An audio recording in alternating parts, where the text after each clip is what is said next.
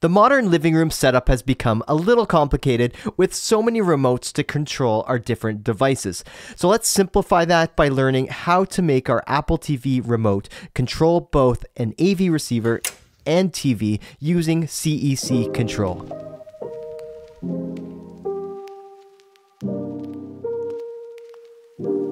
We're going to go from this to this in a few easy steps.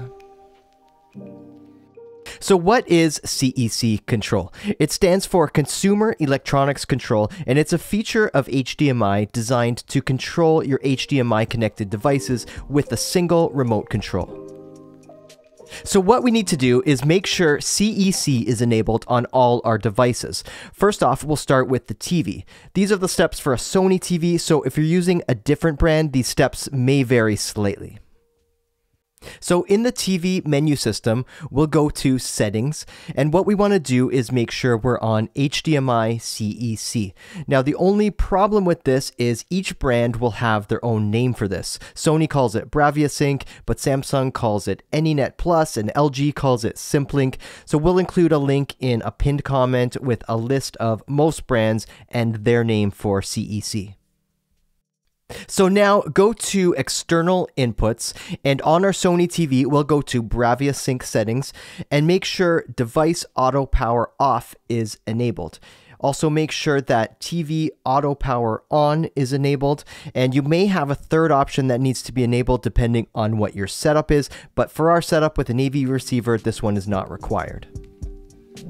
Next, make sure eARC is enabled if your TV has it, and that your HDMI cable is connected using the eARC enabled port. eARC also sends audio from your TV streaming apps to your soundbar or to your speakers connected to your AV receiver. So here's how to find it on a recent Sony TV. It's under External Inputs HDMI signal format. And on this TV, HDMI 3 is the eARC port, and you see here that standard format is checked. You can choose whichever format you want here, but we'll leave it on standard format for our purposes. So knowing that HDMI 3 is our eARC port, we just need to make sure that our HDMI cable is plugged into this port and that it's going to the eARC port on our receiver as well. Next, on your Apple TV, go to Settings, go to Remotes and Devices, and make sure that Control TVs and Receivers is on, and also make sure that Volume Control is set to Auto.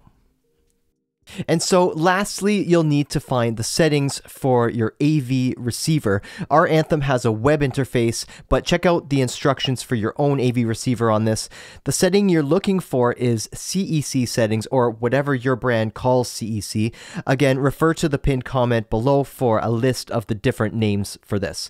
And you want to have CEC control turned on, and CEC power off control needs to be enabled as well.